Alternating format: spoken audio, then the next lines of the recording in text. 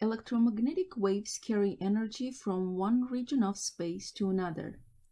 This energy is associated with moving electric and magnetic fields. From electricity and magnetism, we know that the energy density stored in electric fields UE equals 1 half epsilon naught E squared.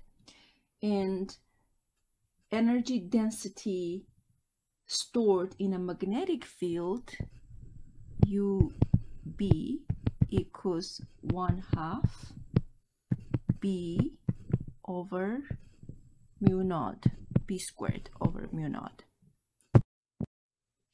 Thus, the total energy stored per unit volume in a region of space where there is an electromagnetic wave, we can say U equals UE plus energy density stored in magnetic field, which equals 1 half epsilon naught E squared plus 1 half B squared over mu naught.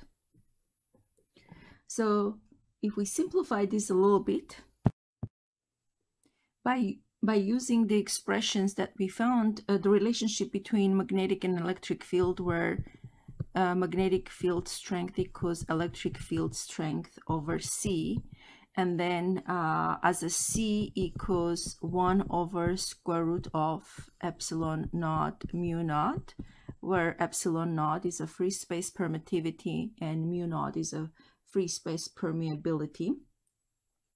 Um, and then uh, we can uh, we can kind of uh, we probably will need 1 over c squared which would equal epsilon naught mu naught.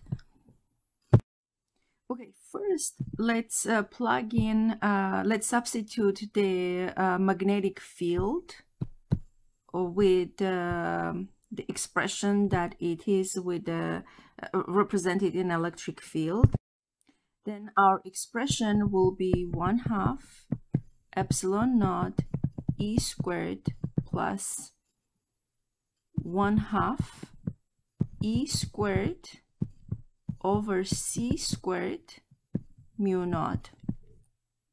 And then substituting the 1 over c squared, so substituting 1 over c squared right here, where you have a 1 over c squared, we can rewrite this expression as 1 half epsilon naught e squared plus 1 half. Okay, so we have um, epsilon naught mu naught e squared over mu naught. So if I cancel the mu naught out, we will end up having 1 half epsilon naught e squared plus 1 half epsilon naught e squared and that will give us a result of epsilon naught e squared. Now I can um, write neatly so the energy density, the total energy density stored in electric and magnetic field or electromagnetic field would be equal epsilon naught E squared or we can substitute our relationship um, between electric field and magnetic field and write it equals epsilon naught c squared b squared or b squared over mu, mu, mu naught uh, over mu naught um, so in other words, electric, uh, I'm sorry, um, energy density um, in the electric field, uh, energy, electric and magnetic field can be represented only with um, electric field or only with magnetic field or it could be also represented as both electric and magnetic field. So let's see that would be epsilon naught e squared and that equals epsilon naught e cb So I could use one of the E to uh, E equals um, CB. So this is one of the E's, right? Um, and then, or I can write uh, that equals epsilon. I can substitute what is the C. So I can substitute uh, C to be equal 1 over um, 1 over epsilon naught mu naught E times B here, which equals square root of epsilon naught over mu naught E B. So here uh, some uh, useful expressions for energy density that um, includes both electric and magnetic fields. It can only include electric field or it can only include magnetic field. now this was the energy density in any region of space at any instant. Now let's determine the energy the wave transports per unit time per unit area. Let us imagine now that the wave is passing through an area A that is perpendicular to the x-axis as I showed in the picture. Um, in a short time dt um, and the dt uh, in, in this short time dt the wave is passing a distance of dx so this little distance dx which equals c times dt the energy that passes through area a in the time dt is the energy that occupies the volume of dv so let's call dv which equals a time dx or equals a c dt the energy density u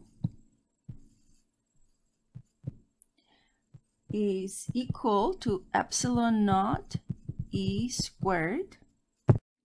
So the total energy du would equal energy density u times dv, which equals epsilon naught E squared AC dt. So then I can, I can say the energy that is crossing the area A per time dt, which I will write 1 over A du dt should equal epsilon naught c e squared.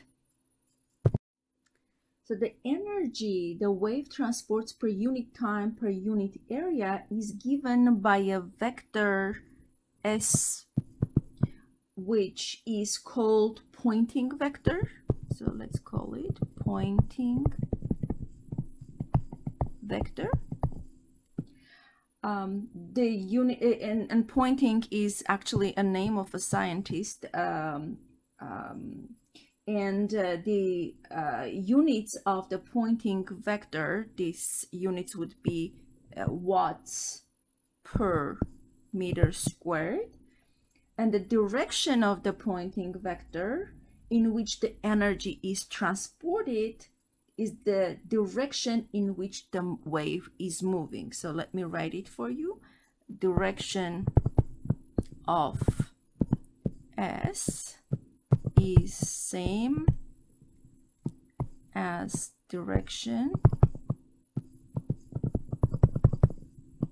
in which the wave is moving.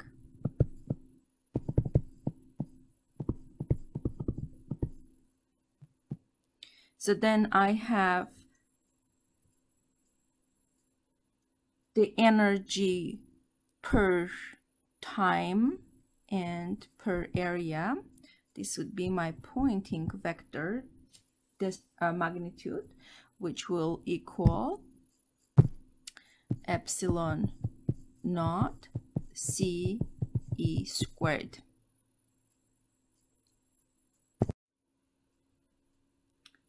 Um, if we use uh, our relationship between E and B, which is E equals C times B, and the relationship that we found for the speed of electromagnetic wave 1 over square root of epsilon naught mu naught, or it equals EB over mu naught. Now the direction of Poynting vector um, S uh, as it is direction of uh, is along V then it is perpendicular to the electric field and it's also perpendicular to magnetic field then uh, we can write S the general form we can write S equals 1 over mu naught E cross product B.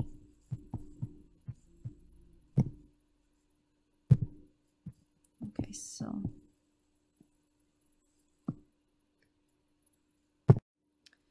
if we know a Poynting vector, we can find the total energy flow per unit time, uh, or to say the power. So the power, I'm gonna write power like this which is the total energy flow per unit time should equal should equal integral uh, of any closed surface so closed integral uh, through the loop so s dot product dA um, there is one more thing that I'd like to mention that electric and magnetic field, we know that they vary per time. So let me write it for you. E and B uh, vary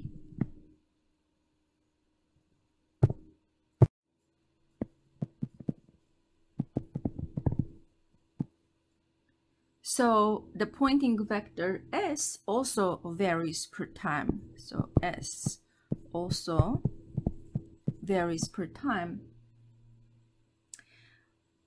at any point. So I can write that S xt equals 1 over mu naught E that varies um, per time at any uh, at uh, at any point so xt cross product b that varies per time at any x cross product. But, then, but this time variation is so rapid that it's most appropriate to look at the average value of this. So the average value we write as um, SAV uh, these uh, lines uh, and which is the magnitude of the average value at the point is actually called intensity.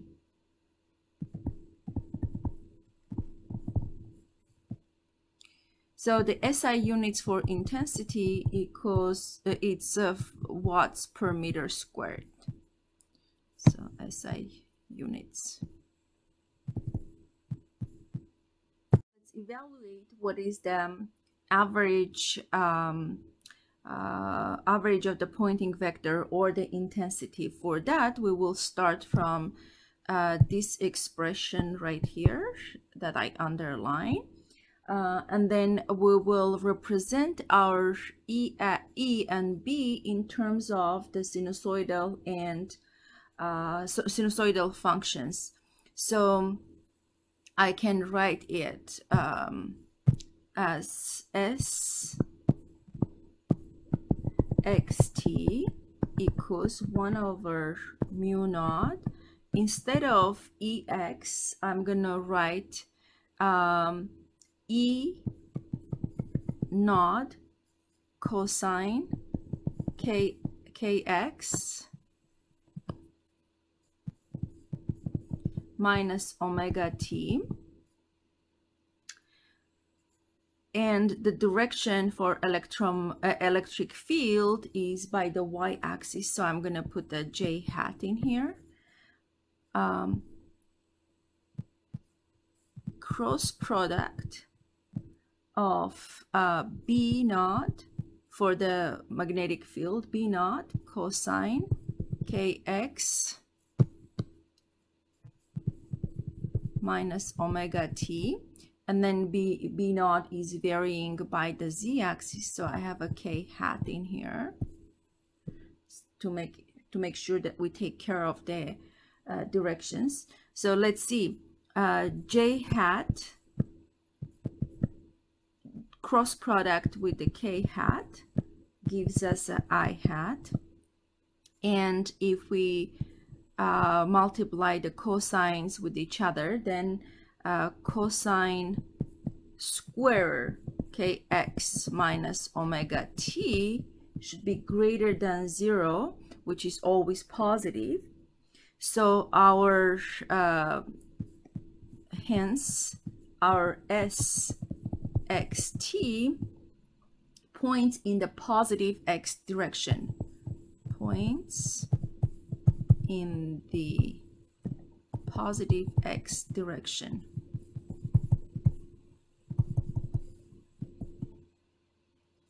which is the direction of the wave propagation. So now I can write the x component of the s vector. sxxt should equal e naught. Uh, I'm sorry, e naught, not epsilon naught. E naught b naught over mu naught cosine square kx minus omega t uh, which is uh, I am gonna try to use a trig identity. Let's recall one wh where we have cosine 2 alpha equals cosine square alpha minus sine squared alpha which equals I'm gonna modify this a little bit cosine square alpha minus 1 minus cosine squared alpha which equals 2 cosine squared alpha minus 1. From here, I can find the cosine squared alpha equals um, cosine 2 alpha plus 1 and 1 half. So if I apply this identity right here, then I should be able to write uh, my x component of my Poynting vector uh, would be uh, E naught B naught over 2 mu naught uh, cosine 2 oh I, I forgot the x in here. Okay so kx minus omega t plus 1 Now the average of this cosine average is 0. So then I can say S average equals E naught B naught over 2 mu naught This time average value of the Poynting, Poynting vector is the intensity. So I'm going to write intensity, which is defined as the average power transferred across unit area equals S average equals E naught B naught over 2 mu naught or I can write E naught squared over 2 mu naught C if I substitute the B naught uh, equals. So if I substitute this B naught uh, with um, E naught divided by C um, I can uh, rearrange it a little bit more and substitute uh, the C to be 1 over epsilon um, C to be 1 over square root of epsilon naught mu naught then I would uh, get an expression that equals 1 half square root of epsilon naught over mu naught e naught squared.